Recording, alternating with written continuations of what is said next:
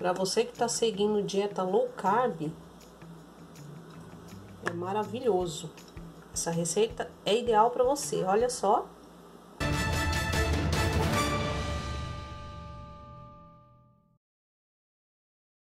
Olá, youtuber espectadores! Aqui é a parte do canal Agrega Tudo. Seja muito bem-vindo, seja muito bem-vinda. Tudo bem com vocês? No vídeo de hoje eu vou fazer aqui um muffin salgado low carb. E para começar aqui eu vou utilizar um ovo inteiro, duas colheres de sopa de azeite, pode ser o óleo de sua preferência ou óleo de coco.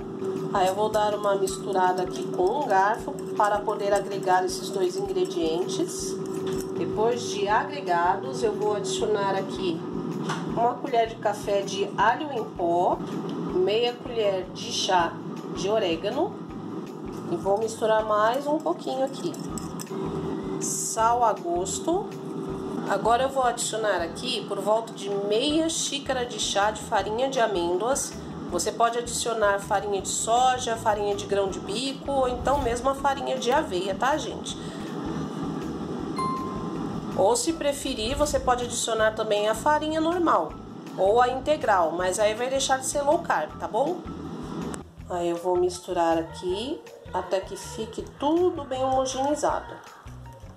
Eu vou adicionar aqui também uma colher de sopa de água para a massa ficar um pouquinho mais mole e vou misturar mais um pouco aqui. E por último, eu vou adicionar aqui uma colher de chá de fermento em pó químico mesmo para bolos. Agora eu vou misturar bem delicadamente aqui, até que fique bem homogeneizado. Pronto, a nossa massa já está bem homogeneizada e agora eu vou adicionar aqui nessas forminhas de silicone, gente. Eu vou adicionar aqui aos poucos até a metade da forma para poder colocar o recheio.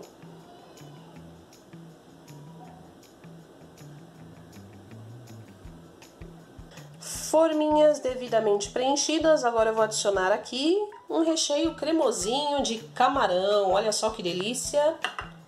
Eu vou adicionar aqui, gente, aí vocês podem adicionar a proteína que vocês quiserem. Pode ser carne moída, pode ser franguinho desfiado. Ou então, se for um vegetariano, pode ser até de legumes, não tem problema nenhum não, tá, gente? Aí o modo de preparo dessa delícia aqui eu vou deixar logo abaixo na descrição do vídeo ou então ao final do vídeo nas caixinhas para você assistir assim que você terminar de assistir a essa receita aqui, tá bom? Então eu vou preencher aqui agora as forminhas para depois finalizar aqui. Pronto, o recheio já foi adicionado. Aí eu vou terminar de colocar aqui a massinha por cima. Aí eu vou mostrar para vocês o resultado. Pronto, já coloquei o restante da massa aqui sobre o recheio. Completar aqui o queijinho ralado, totalmente opcional, tá, gente?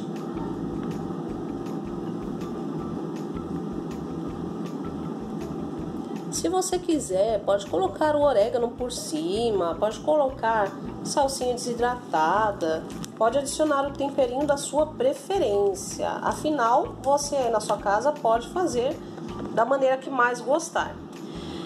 Então já está tudo aqui. Mais uma vez, gente, eu vou utilizar a minha companheira aqui na cozinha, que é a fritadeira sem óleo. Sim, eu vou fazer novamente na fritadeira sem óleo. Coloquei aqui as forminhas na fritadeira sem óleo. Aí eu vou fechar aqui. Vou colocar a temperatura em 180 graus e vou deixar aqui no tempo de 15 minutos. Isso mesmo, gente. Eu vou deixar por 15 minutos assando aqui os muffins salgados. E assim que estiver pronto, eu mostro para vocês como ficou essa delícia. Até mais, pessoal!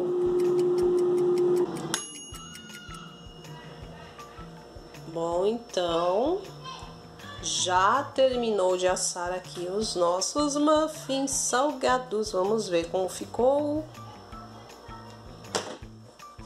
Oh, tcharam! E assim ficou, gente. Olha só que coisa mais linda. Aí eu vou cortar aqui ao meio para ver como é que ficou essa maravilha. O cheiro tá muito bom. É isso aí, pessoal. Então, os nossos muffins low carb ficaram prontos. Olha só que coisa mais linda. O rendimento ele é bem pequeno, é claro, se você quiser é, fazer uma receita dobrada ou triplicada, é só aumentar aí a quantidade dos ingredientes. Aí eu vou cortar aqui para vocês e mostrar como é que ficou por dentro. Gente, eu já experimentei um aqui, o rendimento foi de 4, como vocês viram.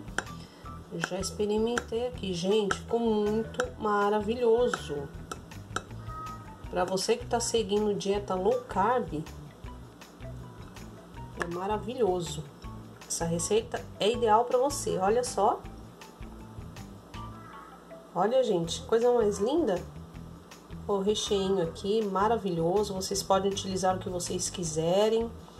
Se quiser utilizar uma receita vegetariana, é só colocar legumes.